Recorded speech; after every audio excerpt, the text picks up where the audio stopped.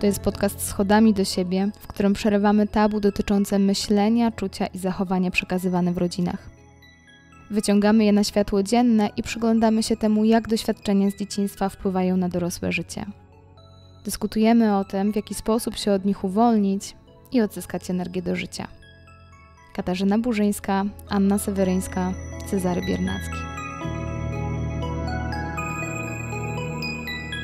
Warunki ekonomiczne i kulturowe, zakłócenia w życiu rodzinnym i erozja stabilnych wspólnot, gwałtowne zmiany społeczne i ekonomiczne sprawiają, że wiele dzieci z tak zwanych dobrych domów, bez przemocy i z miłością, utraciło pierwotną więź z rodzicami, dorosłymi opiekunami, co fatalnie wpływa na ich rozwój. Kontakt dzieci z dorosłymi jest coraz gorszy i dzieci zaczynają polegać same na sobie, plus na sobie nawzajem.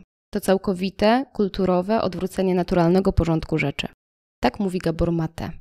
I ten temat chcę dzisiaj z Wami rozwinąć i przyjrzeć się mu z perspektywy, z naszej perspektywy. Cześć Aniu, cześć Cezary. Cześć Kasiu, cześć, Cześć Cezary. Kasiu, cześć Aniu. Ten fragment, który pochodzi od Gabora Mate, pokazuje nam, że niekoniecznie przemoc i totalna dysfunkcja musi oznaczać zaburzenia więzi i zaburzenia poczucia własnej wartości, bo dzisiaj temu tematowi chcę się z Wami poprzyglądać. Co to znaczy w ogóle poczucie własnej wartości, jak się ono tworzy i jakie ma konsekwencje to, kiedy ono jest stabilne, wysokie, nie za wysokie, a co kiedy jest wybrakowane.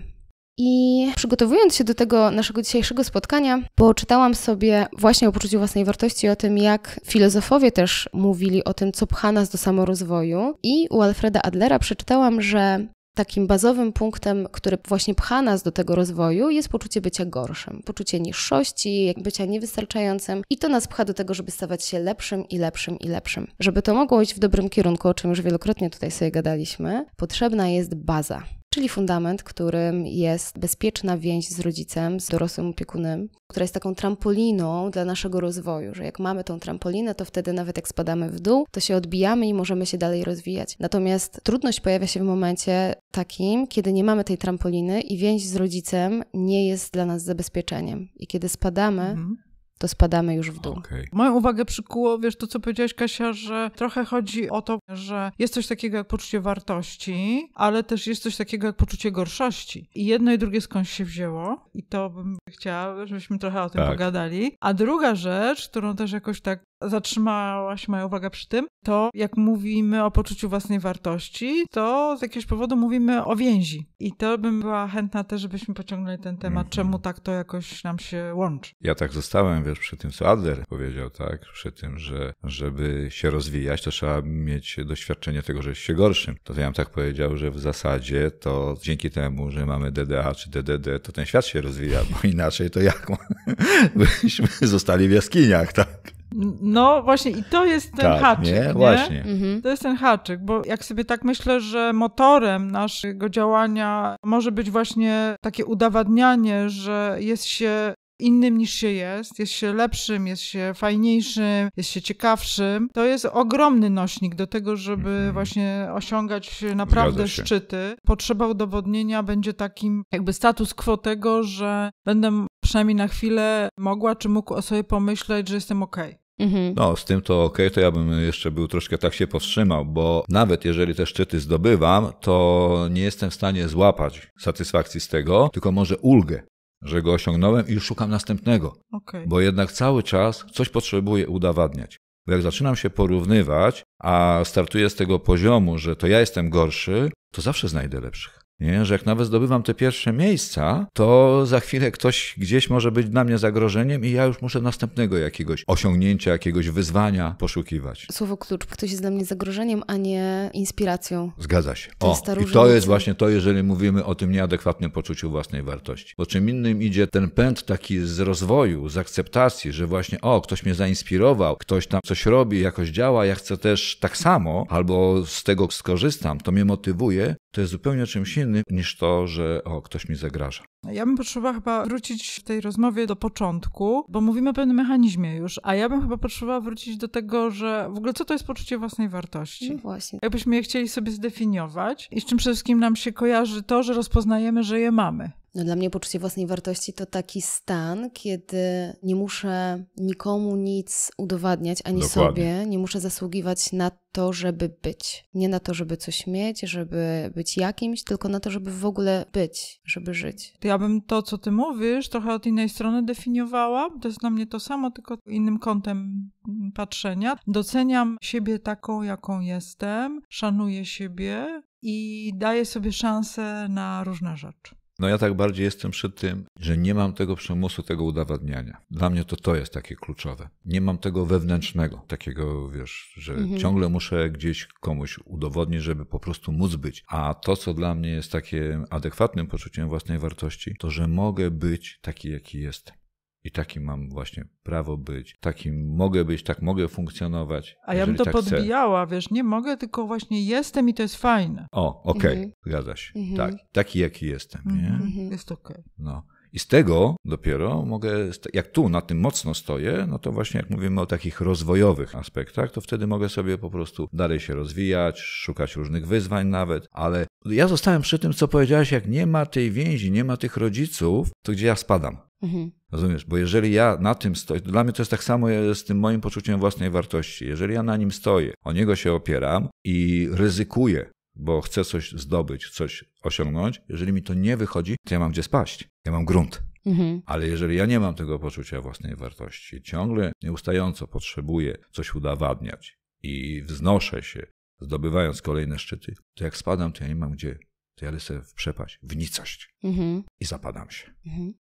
Gdybyśmy zrobili taką retrospekcję znowu do początku, czyli jak to się kształtuje, że wpadam w nicość, albo jak to się kształtuje, że spadam na trampolinę i jestem w stanie się odbić, albo chwilę tam pobyć sobie, polizać rany i z powrotem wyjść w takim dobrym scenariuszu, to jak to się dzieje, że jedni mają takie poczucie w sobie silne, osadzone, że jestem jaka jestem, i przez sam fakt tego, że jestem, zasługuję na to, żeby być, nie? W takim sensie, że po prostu jestem, a inni nie. Powiedziałaś Ania o takiej życzliwości dla siebie, o szacunku dla siebie. Skąd ci ludzie, którzy mają poczucie własnej wartości na dobrym poziomie, mają to? No właśnie, myślę, że to jest taki klucz do skarbca, Mhm. odpowiadając na to pytanie, bo to jest właśnie o więzi, o pierwszym doświadczeniu. Niejednokrotnie w różnych kontekstach mówimy o tym, jak ważne jest to, że dziecko nie rodzi się w inkubatorze, czasem musi, bo jest to ratunek jego życia, ale naturalne jest to, że matka rodzi dziecko i ono od razu czuje, że jest blisko, tak? Nawet teraz już w szpitalach się kładzie wszystkim dziecko na brzuchu mamy, nie? Żeby ono od razu łapało to, że ono nie jest jakieś puste, nie jest wyjęte ze środka tego wszystkiego, co było sednem właśnie tego świata nie pustego, bo tam pulsowało życie mamy od środka i było się w nim, to teraz ja na zewnątrz, to jest dramatyczne, gdzie co jest, nie? I jakby takie położenie na ciepłym ciele matki z jej rytmem serca jest symbolem tego, że trzymamy tą więź, nie będziemy cię od niej odrywać. Mhm. To oznacza, że się rodzisz i masz jakąś wartość, nie? Ja nie Mhm. chcę cię stracić, ja chcę cię jakoś opiekować, chcę być z tobą. To Mhm. by był dla mnie taki przekaz. Mhm. I dziecko w takim swoim tym e, noworodkowym sposobem odpowiada na to, nie? Szuka możliwości ssania, tak? Mhm. Że po prostu no, od razu ma taki odruch, żeby tą więź oddać, też być blisko. I to jest to zaranie tego, to jest ten początek tego, jak dziecko będzie nabywało poczucie własnej wartości. Przede wszystkim najpierw jednak, no przez mamę, a w każdym razie przez tego żywiciela, widoczne, nie? Że będzie opiekowane nie tylko takim mechanicznym trybem, ale właśnie tym, że jest zauważone, jest przyjęte, jest utulone, jest pogłaskane, jest takie przez taką obecność emocjonalną jakoś bardzo tak ukojone, nie? Że, Mhm. że mama się jakoś przyjmuje, troszczy, trochę złości, trochę cieszy, nie? Że ma dużo tych y, różnych uczuć, tak adekwatnie do tego, jak towarzyszy temu maluszkowi na samym jego początku. On doznaje, można powiedzieć, tak napisane tak komórkowo, ma to, że, że jest, że Mhm. istnieje, że to ma znaczenie, nie? Mhm. Że jest ważny, a w trakcie wzrastania też, nie, doświadcza też i swojej sprawczości. Bo to też jest bardzo ważne, nie, że poczucie własnej wartości jest nieodłącznie związane z moją sprawczością. Że ja coś mogę, że ja coś potrafię i że też mam to wsparcie ze strony rodziców. Mnie cały czas w głowie tkwi kiedyś na naszej stronie na Facebooku, nie wiem, to się mem, nie mem nazywa, taka historyjka była i takie trzy wątki były, jak dziecko wybiega na podwórko i w dziupli z drzewa, które rośnie w ich ogrodzie, widzi jakieś przerażające takie, dwa punkty takie, nie? Wraca do mamy, mama zajęta, gotuje, coś tam próbuje powiedzieć, zainteresować, a ona go tylko z psychologiem. Drugi kawałek, jak wraca z tym, to mama go zagarnia i chowa i tak jakby razem z nim ucieka, karmi go tym strachem. A na trzecim idzie i towarzyszy mu, nie? Ale ono idzie, a mama go trzyma za rękę. Ono i samo doświadcza tej swojej sprawczości. Okazuje się, że tam jakaś sowa sobie mieszka w tej dziupli, nie? I cała historia się rozwiązała, ale to mama nie zabrała tej sprawczości też temu dziecku. Nie zagarnęła za niego. Ty, Aniu, gdzieś w którymś z tych opowiadałaś o tym, jak przechodzi się przez taką przeszkodę. Jeżeli rodzic zabierze dziecko, weźmie go na ręce i go przeniesie, to już mu od razu pokazuje, nie, ty się nie nadajesz, ty nie potrafisz. Jeżeli towarzyszy mu, trzyma go za rękę, podpiera w razie czego, to dziecko łapie tą swoją sprawczość, ale też i przez to swoją wartość. Tak, ja potrafię, ja mogę. I tak właśnie to poczucie wartości się buduje.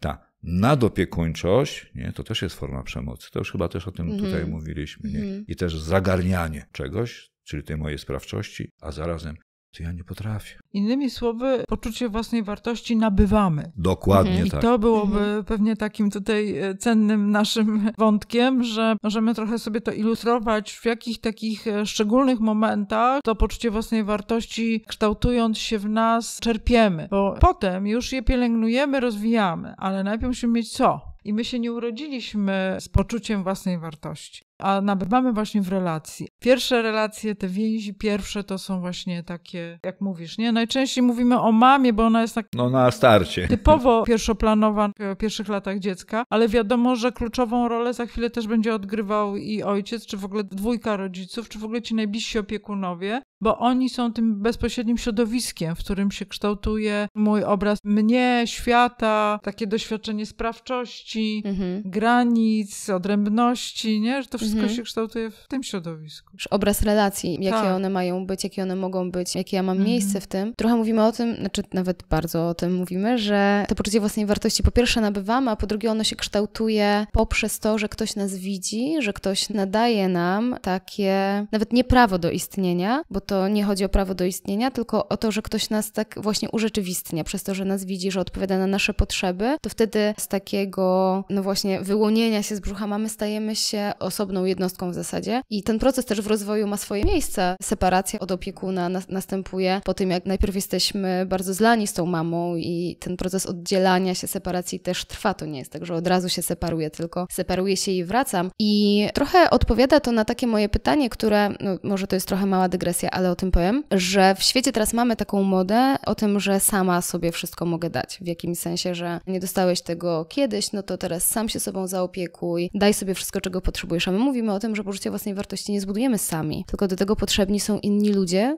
Zgadza którzy się. odpowiadają na nas, którzy nas widzą, którzy nas nie ignorują, którzy nas nie zalewają swoim strachem, tylko którzy mówią: O, widzę cię. Nie widzę, że coś Mhm. przeżywasz. Widzę cię, słyszę cię. To, co ty mówisz, jest dla mnie ważne. Jak mówimy też i o tych granicach.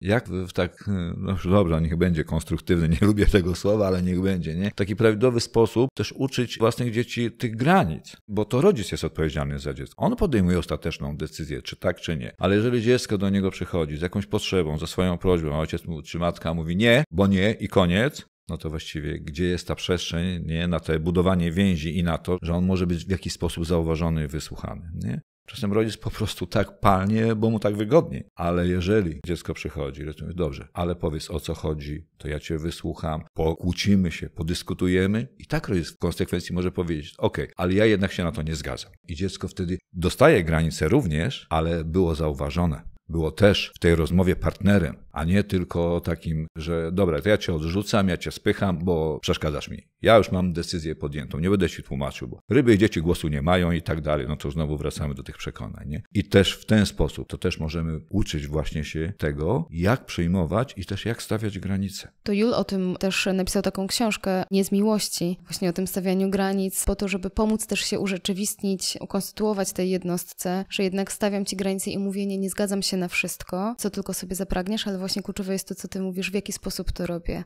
No właśnie, bo to jest, jak mówimy o tym adekwatnym poczuciu własnej wartości, bo jak ja będę ci zgadzał się na wszystko, będę ciągle cię tylko chwalił i mówię, jaki jesteś wspaniały, cudowny, no a później ten świat cię skonfrontuje, no to dziękuję, no, pozamiatane, nie? Więc frustracji dziecko też potrzebuje doświadczyć ale w bezpieczny sposób. I to jest właśnie rola rodzica. Okej. Okay. Ja bym troszkę jeszcze przy tym poczuciu własnej wartości, jak powiedziałeś o różnych przekonaniach, to teraz pomyślałam, że takim kluczowym mitem przy poczuciu własnej wartości, który bardzo często rozbrajamy w czasie naszej pracy psychoterapeutycznej, to jest takie, że o mnie będzie świadczyło to, że mam taki dyplom, taki medal, dowód na coś swojego, że już kończę, nie wiem, czwarte studia, pracuję w najlepszej firmie na świecie, mam pensję, ojej, no i i to jest trochę to, o czym myślę, że warto tutaj bardzo głośno powiedzieć, nawiązując do tego właśnie, po co nam są ludzie w życiu potrzebni. Że nic nie zastąpi tego, że ktoś dla nas ważny powie właśnie takie kluczowe słowo: To ja cię doceniam, albo to dla mnie jesteś ważny, albo to ja chcę z tobą gdzieś być że to jest to, bo to mówią ci opiekunowie, tak, że nie odrzucają, dając poczucie własnej wartości, tylko zapraszają. Właśnie tak jak mówisz, w taki mhm. bardzo przytomny sposób, stawiając granice, towarzysząc, czasem chroniąc, czasem konfrontując, różnie, bardzo różnie, ale są obecni. I dlatego można powiedzieć, że to poczucie własnej wartości można od nich czerpać i można w sobie je rozwijać. A jak rodzice stawiają cię w takiej pozycji, pokaż mi, co jesteś wart, przynieś szóstkę, zdobądź złoto w tych zawodach, to my nie będziemy mieć zbudowanego poczucia własnej wartości. No bo wtedy to poczucie własnej wartości pozorne, bo to nie ono, kształtuje się na zewnątrz, czyli tak. zależy... Dokładnie, zależy jest umiejscowione na zewnątrz. Dokładnie. Kompletnie nie mamy wpływu no. na to właściwie, czy jesteśmy coś warci, czy nie. Mhm. Ile mogę tych pierwszych miejsc zdobywać, nie? Ile mogę tych najlepszych stopni zdobywać? No w końcu też, choćbym nie wiem jak się starał, no wyczerpuje się wyczerpują się moje możliwości. Często zdrowiem zaczynam to przepłacać. No i jak mówimy znowu o tym spadku w coś, to jak już mam dosyć, nie wyrabiam, to wtedy spadam totalnie i już nic. Jest zero-jedynkowo. Albo będę ten najlepszy, bo ciągle będę zasługiwał i starał się i udowadniał, albo jak mi już w którymś momencie nie wychodzi, albo ja już nie mam siły, mhm. to będę ten najgorszy to już nic takim mhm. razie nie potrafi. Nie? I to jest taka huśtawka w tym zasługiwaniu. Też myślę, że to jest cenne, żebyśmy o tym mówili w takim kontekście naszych doświadczeń tego pola terapeutycznego, że często mierzymy się w terapii z takim dylematem w ludziach, żeby dać sobie możliwość psychoterapii pozwolić sobie na nią, nie? żeby w niej pobyć, trochę tak jak pobyć właśnie w relacji, pobyć w kontakcie, pobyć ze sobą, żeby to nie, nie była akcja, że ja przychodzę, w sekundę coś się takiego ma zdarzyć, że się naprawiam, idę dalej. Mało tego, przychodzę z takim pomysłem, no to ja tu będę najlepszym pacjentem, mm-hmm. klientem, tak? I będę się tak starał, właśnie znowu na coś chcę zasłużyć. Dlatego tak. szkolenie tak, psychoterapeutów tak, tak I, dużo i to, trwa. I to jest bardzo częste, tak, na, na starcie, na początku, nie? Mm-hmm. Ale jak doświadczam tego właśnie tu, w mhm. psychoterapii, w grupie terapeutycznej, że no właśnie, że taki jaki jestem, zaczynam być przyjmowany, doceniany, akceptowany, to nagle może faktycznie ja nie muszę ciągle zasługiwać. Mhm. I to jest to korekcyjne doświadczenie. Tak. Tylko ono musi być oparte też w czasie, bo to się nie da zrobić akcyjnie. Mhm. Dla mnie jest bardzo istotne to, co Kasiu, ty wspomniałaś, że jest taki ten, że sami sobie mamy dać. No ale mhm. z czego mamy sobie dać? Jak mhm. nie doświadczyliśmy tego w dzieciństwie, no to jak? Skąd mamy to wziąć? Nie? Do tego nam są potrzebni ludzie. Ale ludzie mogą nam dawać, tylko w naszych rękach jest, co my z tym zrobimy. Ja tak mówię o tym lejku, mm-hmm. że ludzie mogą tam wlewać, wlewać, ale jeżeli ja go nie przytkam, nie, tego lejka, to to wszystko tylko przelatuje. Bo ja i tak w bazowym swoim doświadczeniu w relacji z rodzicami miałem takie doświadczenie, że jestem nic nie wart. No już takim dużym skrótem, bo zawsze byłem nie taki. Ciągle było coś nie tak. A to wygląd, a to wiedza, cokolwiek bym nie zrobił, To- to, i tak było nie tak. To jest niesamowite teraz, jak powiedziałeś, takie skojarzenie, że co przytka lejek, to wiecie, co mi się skojarzyło? Odkorkowanie wstydu. Mhm. O, genialne.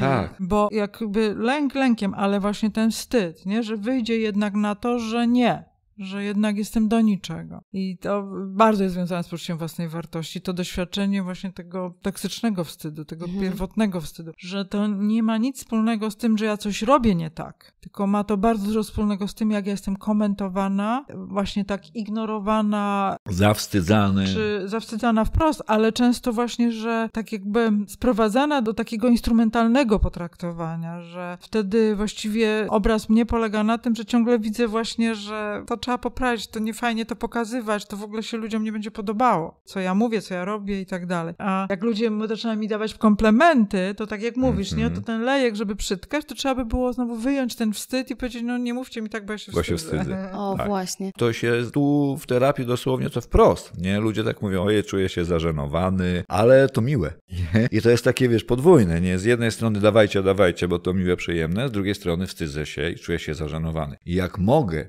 mimo tego wstydu i tego zażenowania, być otwarty na to, no to tak jak mówisz, ja zaczynam powoli ten lejek przytykać. Mhm. Myślę nawet o tym, że komplementy to jedno, ale w relacjach pojawiają się też te trudne informacje i myślę, że to jest jeszcze większe wyzwanie, żeby powiedzieć, kiedy zwracasz uwagę na to, co robię nie tak, to się wstydzę i to mnie wycofuje z relacji na przykład. To jest bardzo trudny komunikat, ale tak jak mówicie, jak tego nie wyjmiemy, no to wtedy zatapiamy się dalej w tym wstydzie i ten lejek tam Tak. przepuszcza to i przepuszcza, a tak jak Brené Brown w piękny sposób mówi, antidotum na wstyd jest przede wszystkim empatia, czyli ludzie, relacje, więzi, ale z drugiej strony też mówienie o nim, wyjmowanie go na światło dzienne, nazywanie, pokazywanie, świecenie na niego, żeby go wyjmować, no bo tak jak też rozmawiamy, ten wstyd jest tak nieuchwytny, e, mogę się zawstydzić tak wprost tego, że teraz coś zrobiłam takiego, co wywołuje takie nieprzyjemne ukłucie i okej, no dobra, to się jakoś z tego wstydzę, ale ten wstyd toksyczny, który przekreśla w ogóle to, że jesteśmy, on mówi, jesteś do niczego, jesteś beznadziejny, jesteś nic nie warta. To jest tak trudne do uchwycenia, bo w źródle no to jest zupełnie przed słowami, ale też nigdy nie było tak wprost nazwane. Tylko to jest taki zestaw, powiedziałabym taka kula śnieżna, która jest sklejona i z dotyku, który otrzymywaliśmy, i z reakcji ludzi na nas, i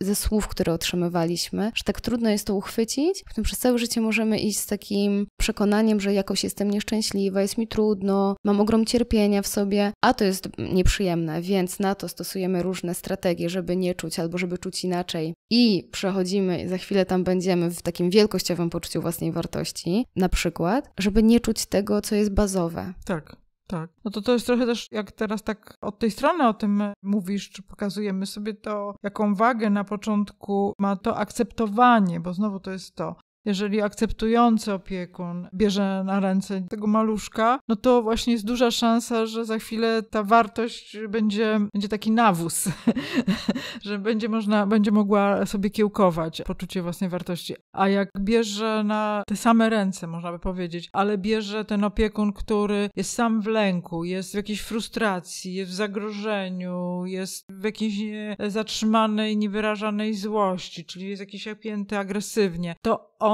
to daje taki przekaz. To jest właśnie takie antywartościowe, nie? I, i wtedy właśnie pojawia się ten zalążek tego wstydu. To mówisz, to potem daje ten efekt kuli śnieżnej, że co ja, po co ja trzymam, dlaczego trzymam? To są właśnie niewypowiedziane słowa, to są mm, tymi palcami, tymi gestami jakoś tak wyrażone własne frustracje przekierowane na tego malucha. I potem y, nie ma tam pola do uprawiania poczucia własnej wartości. Mhm. Mhm. Bo to, co mówisz, to już na samym starcie jest to doświadczenie tego odrzucenia i to takiego niewypowiedzianego, takiego emocjonalnego. Ale na przykład dla mnie to już są, wiesz, takie tragiczne doświadczenia, jak ja słyszę, jak w rozmowie dzieci z rodzicami, one nagle dowiadują się, że były tymi dziećmi niechcianymi, przypadkowymi, z tak zwanej wpadki. No to jest komunikat, który, komunikat taki wypowiedziany. Rodzic tak sobie o, palnął, Tak. rzucił, wiesz. I jak takie dziecko później to niesie, no to jak ono może budować swoje poczucie wartości, jak jest z samego, że jest niechciane i w ogóle z przypadku, nieoczekiwane. Nieoczekiwane to jest jedno, a niechciane to jest Niechciane zupełnie to coś drugie, innego, tak. nie? Bo to jest Tak, taki przekaz, rację, nikt cię nie, nie tak. chce cię, jesteś niepotrzebny. Tak. Się ten kontekst tego przekazu No. jest niesamowity, Mhm. bo to jak rodzic mówi w jakiejś wściekłości, wiesz, że nie planowaliśmy w ogóle, w, jesteś naszą wpadką, ale czasem mówi to z takim ogromnym ogromnym żalem do Mhm. świata, nie? Że A mało przez tego jeszcze o- ciebie, że Tak. się pojawiłeś, a w ogóle nie chciałam, żebyś był. Mało tego, a jeszcze e, matka potrafi obarszyć, tak? No bo ja przez ciebie jestem tutaj, jestem twoim ojcem. No No, właśnie. na No, przykład. bo gdyby tak. nie ty, to ja bym się już No dawno właśnie. nie rozstała. No, to jest kolejne obarczenie. Ile ja muszę na tych plecach dźwignąć, nie? Mhm. To jak ja się muszę Mhm. teraz postarać, Mhm. spiąć, nie? Zrobić, żeby jednak... I jaka byłaby ta moja wartość? Skoro jestem od razu ciężarem, problemem na dzień dobry, tak? Mhm. I wtedy cokolwiek byśmy nie zrobili, no to nie jesteśmy w stanie tego jednak mieć i akceptacja ze mną została. Jak mówicie o akceptacji, to znowu, jak zaakceptujesz siebie, to wszystko już będzie dobrze. Zaakceptuj siebie, nie? Daj sobie miłość, daj sobie czułość, tak po prostu, na zadaniu. Tak. E, Zaakceptuj siebie, to inni cię zaakceptują, a to zupełnie nie w tą stronę działa i mam nadzieję, że to jest bardzo wyraźne, jak teraz o tym rozmawiamy, Tak. Ja że to idzie w drugą stronę. tak, że najpierw ja potrzebuję od kogoś tego doświadczyć, jak nie doświadczyłem tego od rodziców. Bo w naturalny sposób, funkcjonalnej rodzinie, no to ja doświadczam tego od rodziców i wtedy faktycznie to ma ręce i nogi. No to ja doświadczyłem tej akceptacji, to teraz jak je mogę siebie zaakceptować i pozamiatane, nie ma sprawy. Ale jak ja tego nie doświadczyłem ze źródła, no to skąd mam to wziąć?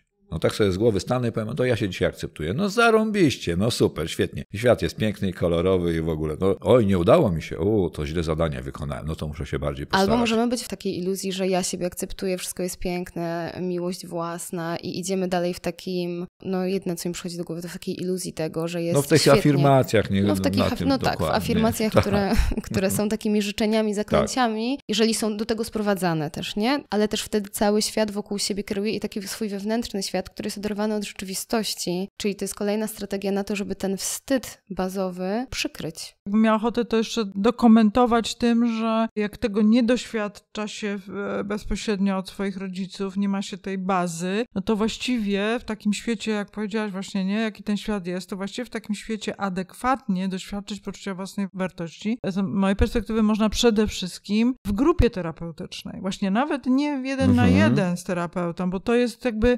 niewielka przeciwwaga tego doświadczenia do ogromu właśnie tej śnieżnej kuli. Natomiast grupa ma też taki trochę jakby tą siłę też tej kuli, że dużo się tam dzieje i że można tam przeżyć rzeczywiście takie równoważne doświadczenie akceptacji. Mhm. Akceptacji.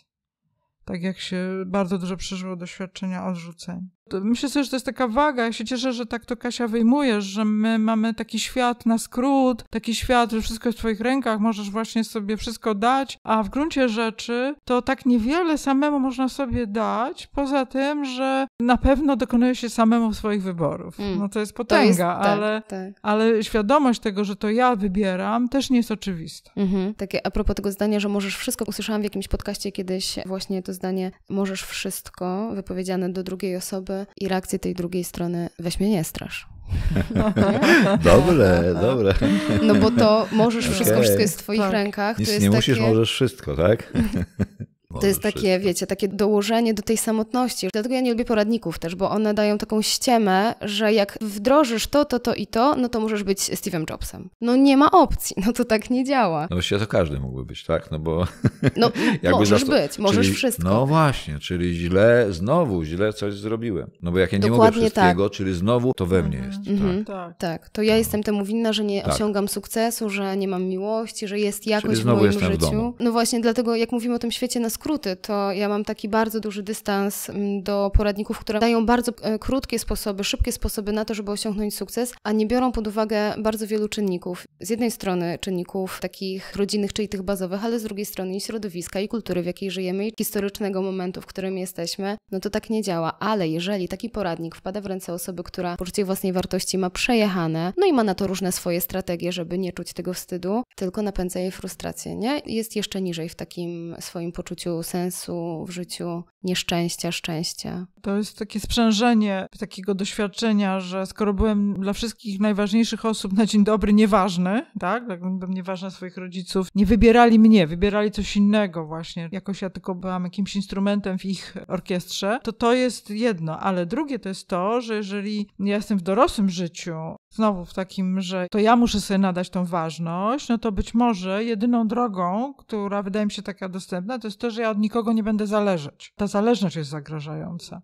Zagraża też mojej wartości, jeżeli ja tak sobie ją chcę na siłę mieć. Mhm. E, Ale to mówisz o kolejnej pułapce, nie? Tak. Bo znowu wtedy wszystko ma tylko zależeć ode mnie, tylko ja jestem sam, samowystarczalny, nikogo nie poproszę o pomoc, Tak. z niczyjej pomocy nie skorzystam i właściwie ta samotność. Tak. Jestem Mhm. skazany na tą samotność, bo ja muszę wszystko sam. Nikogo czerpać, z nikogo korzystać.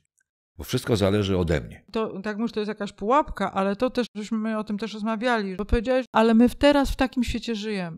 W świecie właśnie takich wolnych elektronów, można by Mhm. powiedzieć. Można powiedzieć, że dużo osób ma to doświadczenie, że y, bliskość, więź jest zagrożeniem. Mówienie to jest baza, ale to doświadczenie zaryzykuj, pobądź. Trochę dłużej niż weekend, bo wszystko w weekend, nie? Trochę dłużej niż weekend z kimś, bo z takim ogromnym smutkiem patrzę na, na relacje takie przyjaźni czy związkowe, że do pierwszego kryzysu Mhm. I koniec. No właśnie, bo jak myślę o tych doświadczeniach bazowych, o tym, że te więzi jawią się nam jako zagrożenie, no bo bliskość jest zagrażająca, tak jak mówisz, bo kiedy się zbliżamy do Tak. siebie, to zawsze ryzykujemy zranienie, zawsze ryzykujemy coś w tej relacji. I jak mamy już tą ranę na tej więzi, taką wyrwę, to wtedy dotykamy dokładnie w to czułe, delikatne miejsce w relacji w tym kryzysie. Nie mając świadomości tego, że tam jest czułe miejsce, bardzo no, wymagające specjalnej troski, to odpalają nam się w zasadzie wszystkie reakcje takie zupełnie nieadekwatne do tego momentu, do tej relacji, do takiego dorosłego związku, Mhm. tylko te reakcje z dziecka, które jest zranione, opuszczone i odrzucone. I to się zgadza, Kasiu, i dlatego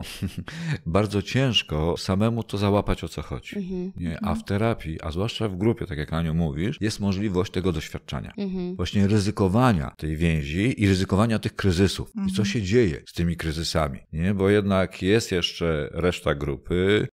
są terapeuci, którzy opiekują to. I możemy się temu swobodnie i bezpiecznie przyglądać. Mhm. Nie? I czy są bardzo właśnie- różni ludzie Tak. w grupie, nie? Że to jest takie bogactwo tego doświadczenia, które jest na regułach bezpiecznych. Ale wiecie, co jeszcze sobie pomyślałam? W kontekście tego poczucia własnej wartości cały czas. Kiedyś był taki schemat w kulturze, na przykład o kobiecie, że wartościowa kobieta to taka, która ma męża, dzieci i siedzi w domu i tam opiekuje tą rodzinę, na przykład, nie? Że taki był jeden ze schematów, który był takim, że do czego dążą kobiety? Do tego, żeby wyjść za mąż, mieć dzieci i prowadzić ten dom. Albo y, był taki moment, y, że wartość kobiety jest w ogóle opisana tym, że się podoba. Nie? Podoba się mężczyznom i wtedy jest wartościowa, no można by tak powiedzieć. I tak dalej, i tak dalej. W tej chwili myślę sobie, że lansuje się coś takiego, że kobieta samowystarczalna jest wartością. To jest jej poczucie własnej, że ona jest tak zaradna w każdej dziedzinie swojego życia, że nawet samorodna niemalże i jeżeli już chce mieć te dzieci i właściwie to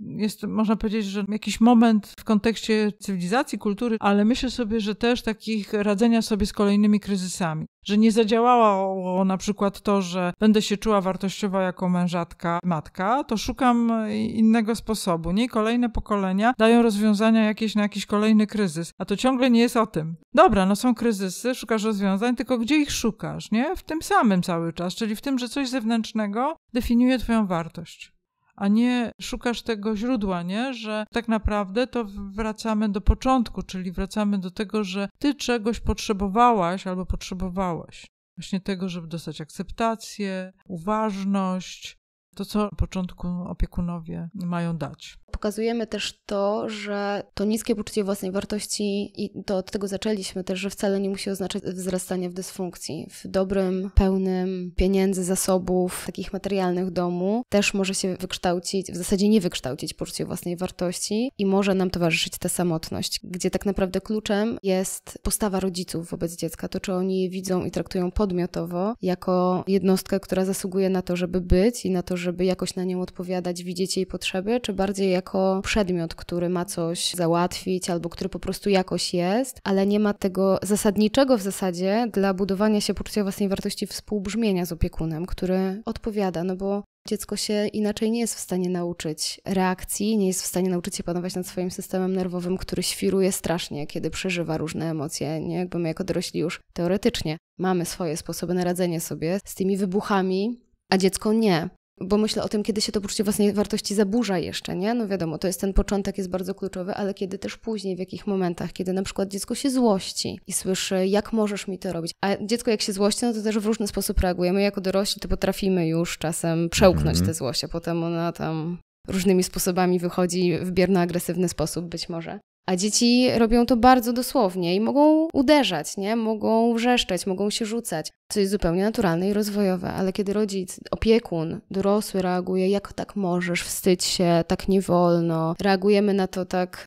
Gdybyśmy rozmawiali z dorosłym, to to też jest moment, kiedy to poczucie własnej wartości, no nie ma szansy się tutaj budować dalej. Tak myślę o tych przerwanych więziach. W jakich momentach ta więź z rodzicem się też przerywa. Wychodząc już z tych pieluch, to tak jak pokazujesz, właściwie na każdym etapie rozwoju coś jest normą w doświadczeniu tej własnej wartości, że tak jak mówisz, nie o takiej spontaniczności wyrażania swoich uczuć czy zawalczenia swojej potrzeby, a to, co robi dorosły w relacji z dzieckiem, to właśnie nadaje temu jakiś bieg jeżeli ta korekta idzie w taką stronę, że nie podważa uczuć i potrzeb, tylko próbuje je włożyć w jakieś takie ramy bezpieczeństwa, jakieś reguły kultury, czegoś, czegoś, no to okej. Okay. Ale jeżeli podważy, mówi, że jak tak możesz, nie? Po co ci to? To wtedy właśnie od razu kwieje pod tym fundamentem tej wartości, którą w sumie ciągle dziecko potwierdza, no bo dziecko właśnie na początek, jak je dostaje, to potem sobie potwierdza, potwierdza, potwierdza. Potem dopiero może powiedzieć tak, ja wiem, o sobie, że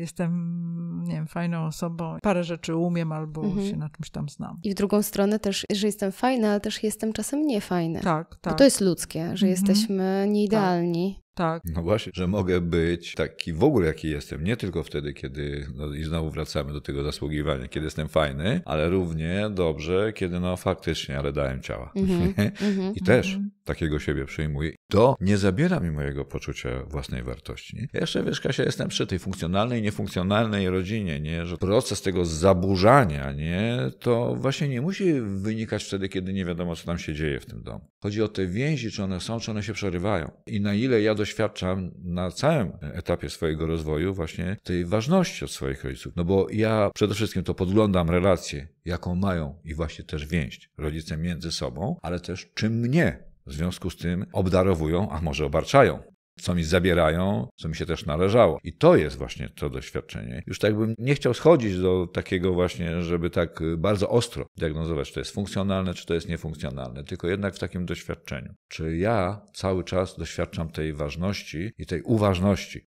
na siebie ze strony rodziców na każdym etapie swojego mhm. rozwoju. No to, Czy dostaję no, tego odrzucenia? Tak. Bo właśnie jak ty mi to możesz robić, bo mnie to już nawet taki tekst idzie, nie? No tak. jak, że się tak złościsz, nie? to jak ty mnie to robisz, to ja się tak staram, no jesteś nie w porządku już od razu na starcie. Ale to, co jest najcenniejsze, to masz przestrzeń, ja ci jednak stawiam granice, a o to, o co przede wszystkim dbam, to bezpieczeństwo. Dobra, jak ty sobie w tym cudzysłowiu histeryzujesz i leżysz na tym dywanie piąstkami bijesz, dywan, okej, okay, twoje piąstki, dywan, tu się nic nie stanie. Ale jak idziesz do mnie i mnie zaczynasz bić, ja ci stawiam granice. O nie, na to, to ja nie pozwalam. Możesz się złościć, ale nie w ten sposób ją wyrażać. W trakcie tegoż rozwoju, na różnych etapach i na różnych poziomach, na co właśnie swoim dzieciom jestem w stanie przyzwolić, gdzie stawiać granice, ale jestem w tym kontakcie. Nie, że jestem idealny i tylko głaszczę i na wszystko przyjmuję, ale też mogę i się zezłościć, i głos podnieść, tylko jestem w kontakcie.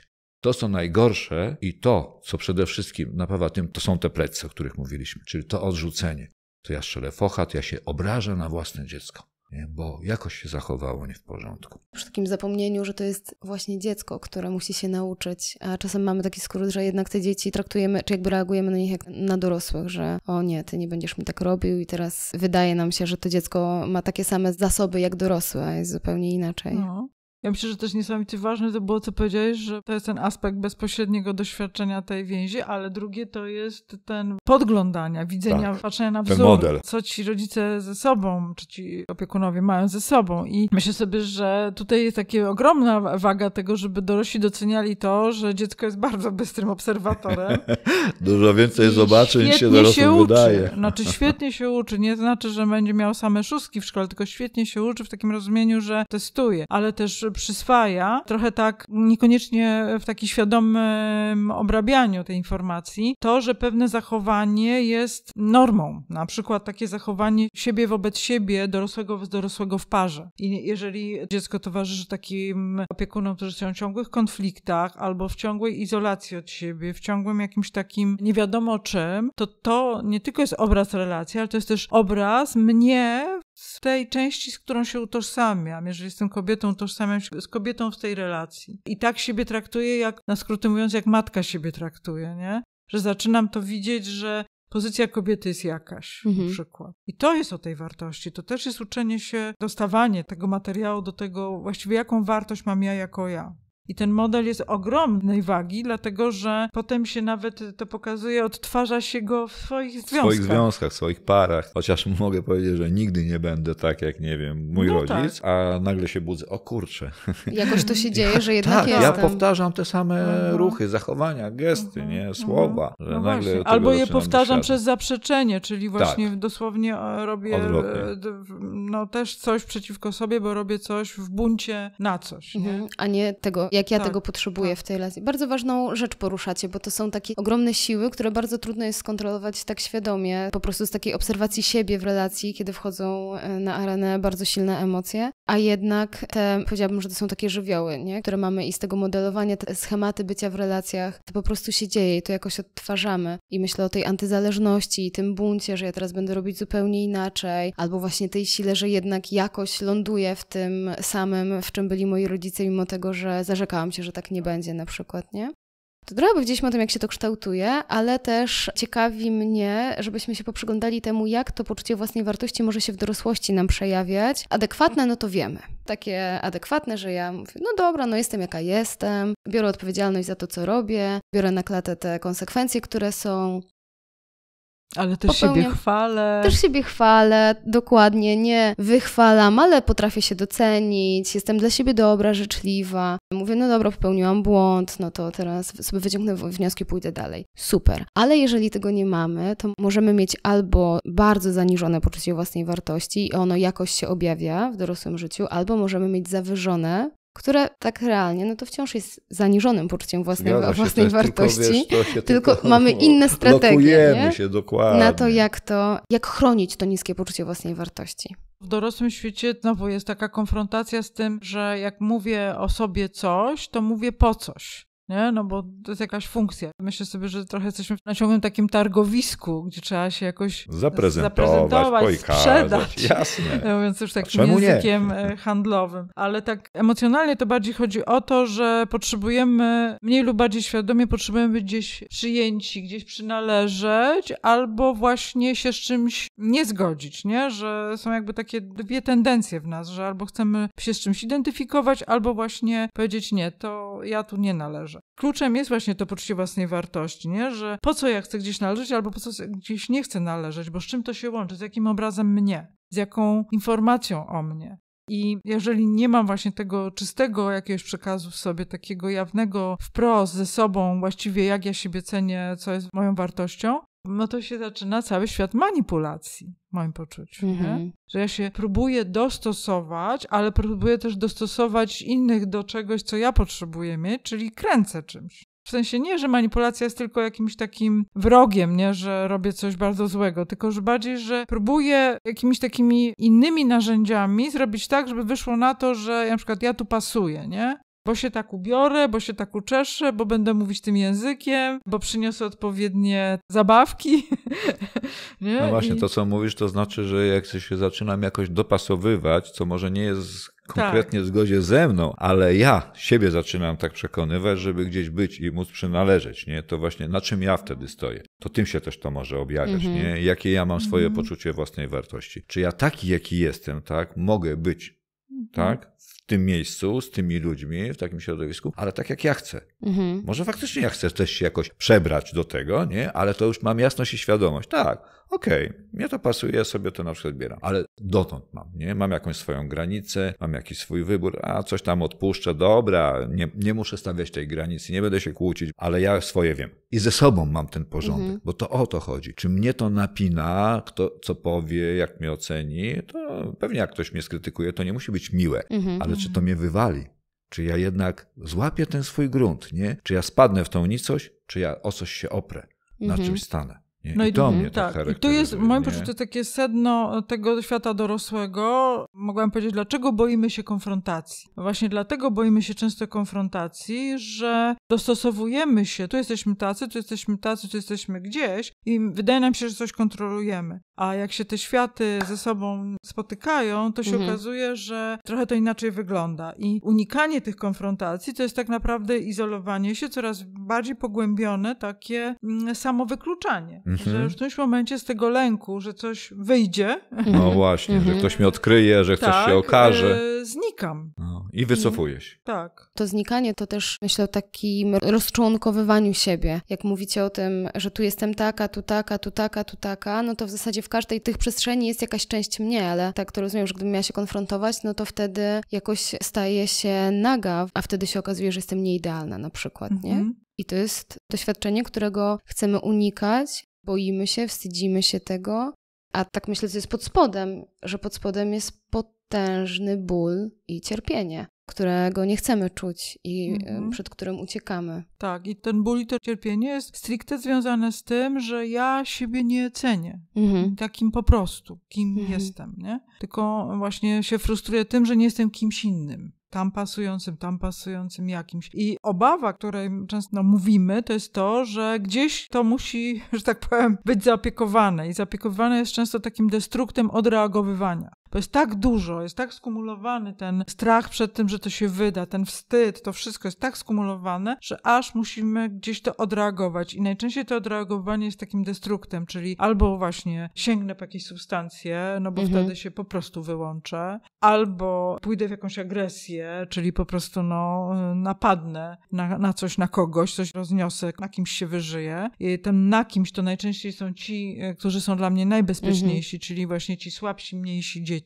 I tak dalej, i tak dalej, nie? Czyli można powiedzieć, że mój własny deficyt, mojego poczucia własnej wartości, jeżeli jest nieadekwatnie zaopiekowywany, to jest taką zbrojoną bombą, która Mhm. w końcu wybuchnie. Tak jak mówiłaś o tym odreagowywaniu, też myślę o tym, jak to możemy odreagowywać w relacji, na przykład e, też manipulacjami, wbijaniem w poczucie winy innych, odwracaniem kota ogonem, nie? Jak mamy takie różne małe zdrady w relacjach. Zdrady wcale nie muszą oznaczać zdrady z inną osobą, ale takim odwracaniem się też w tych relacjach, nie? I tak z jednej strony agresja i wyładowywanie się, a z drugiej strony takiej biernej agresji, która ukrywa to poczucie bycia gorszym, przerzucając to jakoś na innych, bo też zostałam z tymi manipulacjami, że manipulacje same w sobie nie są złe ani dobre, są po prostu jakimś faktem, stanem, ale kiedy no, czasem nieświadomie manipulujemy i kręcimy, czasem bardzo świadomie, wszystko zależy od intencji, jaka w tym jest. Przekonał mnie do tego mój nauczyciel ruchu, który mówił, manipulacja jest po prostu manipulacją. Kiedy ruszam twoją ręką, to nią manipuluję. Dokładnie. Tak. Ale jeżeli ją wygnę do tyłu, to ją zmanipuluję tak, żeby cię zranić. No właśnie, żeby E, ci zadać ból. Dokładnie. Tak. I Albo żebyś mi uległa,